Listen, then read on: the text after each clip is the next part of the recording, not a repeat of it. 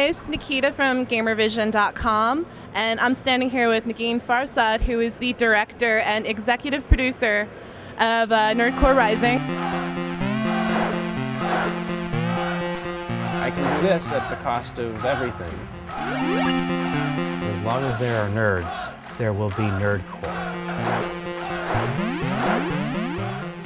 So, I mean, how did you fund a project like this? It's expensive, and did you have to fund it yourself, or who did you find to give you money? And like, how do you pitch this? Like, I'm gonna follow a white dorky rapper. First off, I, I, just, I, I, posted a bunch of stuff online and kind of shamelessly begged for money from strangers, like small donations. And and luckily, the you know the, the PAX community, the you know the, the gaming community at large, um, the the community of nerdcore fans definitely represented by giving me their money. And then the other part of it was I would go and beg strangers to invest like larger amounts of money. Dentists, uh, accountants, like your you know your run-of-the-mill people that have some disposable income. Friends of my parents, you know what I mean. Friends of friends who are my age but somehow have made a, a real living. Did you know MC Frontalot, or did you pick him to follow and make a documentary about? It? How did it happen? His uh, keyboardist um, and collaborator, G Minor 7, aka Gabi Alter,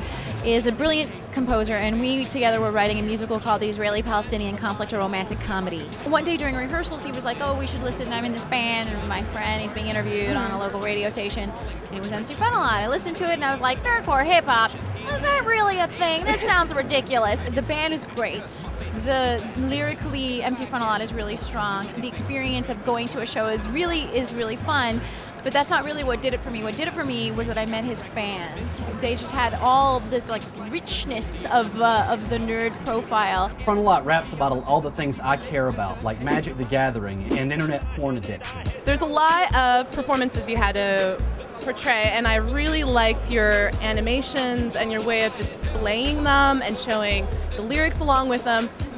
Where, where, how did you come to that conclusion that's what you want to do with it? Well, you know, I had been listening to this music for so long, so I was on tour with them and I knew all the lyrics and I knew what was going on, and I made a rough cut of the movie and I assembled a couple of like my comedian friends, and they were like, "We just don't know what he's saying." You know, there's all this yeah. rapping, and we don't know what he's saying. And I was like, "Okay, got it." And and I knew, you know, at that point that these couple of friends of mine would be representative of a larger audience, not understanding what the lyrics were, because you don't know, you can't understand what rap is when you first hear it. You know, you have to like sit with it in a room alone and like parse the lyrics and really like but I needed the audience to have a visceral reaction from the get-go. You know, I needed them to understand the lyrics immediately, and so um, I, I, I, worked with a motion graphics designer uh, named Dan Short to like bring all of those to life, and we talked about different ways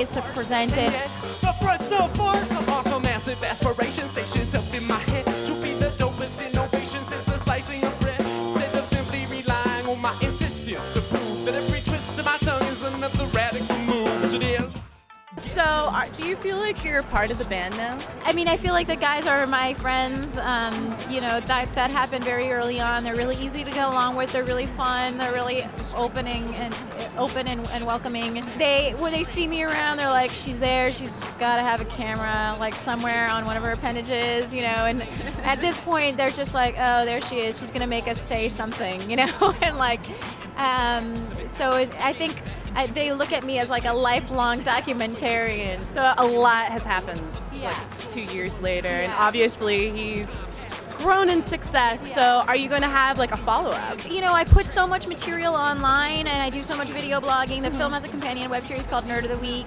And besides that, I, I video blog. The experience here at PAX will be video blogged.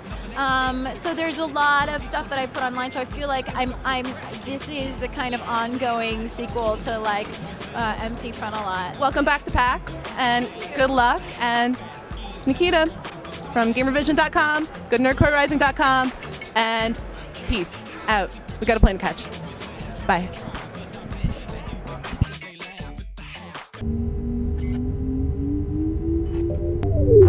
You, for the price of a modest home in the greater Phoenix area, can finance the entirety of the Nerdcore Rising the movie budget. Go to nerdcorerising.com. There are many options and ways to support the film. You could even just tell your friends about it. It's a cool movie. I'm in it a little bit at the end.